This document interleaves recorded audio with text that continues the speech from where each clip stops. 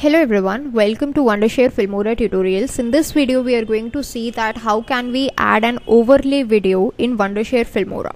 So what is an overlay video? An overlay video is actually a video over another video. So suppose this is the video that we have uh, of two cyclists and uh, over it we apply another video. So that would be an overlay video. Okay.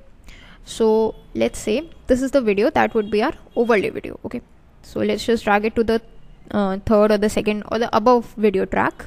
And the video on which we want to overlay it let's just drag it in the below track. Using control minus we can just zoom out a bit.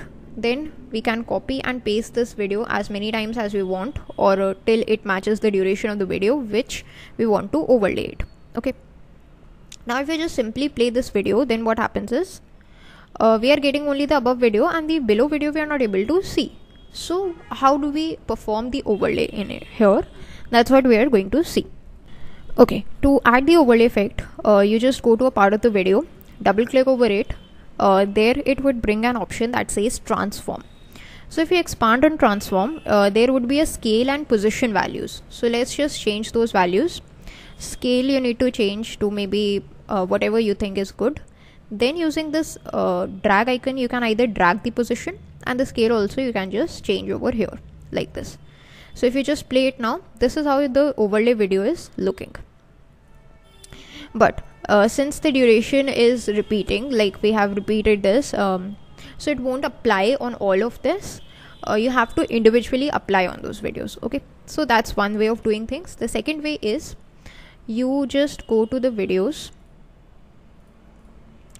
uh, and select another video that actually has roughly the same duration that you want to overlay. Suppose this video let's just drag it.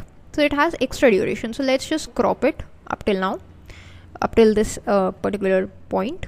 Double click go to transform change its scale. We can change its uh, position its scale and place it here or maybe here would be good. So for the videos uh, that are recorded using screen recorder and the webcam. This is where the overlay looks good.